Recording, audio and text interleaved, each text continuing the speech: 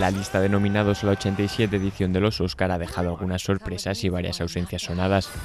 Entre estas últimas destacan títulos como La Lego Película, Perdida o Interestelar, solo con nominaciones técnicas, y nombres como los de Jennifer Aniston, Ralph Fiennes o Jake Gyllenhaal. Este año los académicos han elegido solo ocho candidatas a mejor película, dejando fuera las ya mencionadas Interestelar y Perdida o a otras que sonaban con mucha fuerza como Puro Vicio, Nightcrawler o Foxcatcher. Curioso es el caso de este último título que está fuera de las ocho mejores películas del año, pero cuyo director, Bennett Miller, sí está entre los cinco nominados a la estatuilla.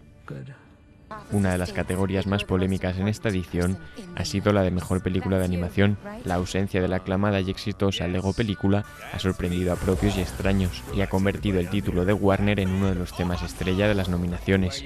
La Lego película que estaba nominada a mejor canción se ha quedado fuera en favor de dos cintas que estaban en pocas quinielas: El cuento de la princesa Kaguya y Song of the Sea.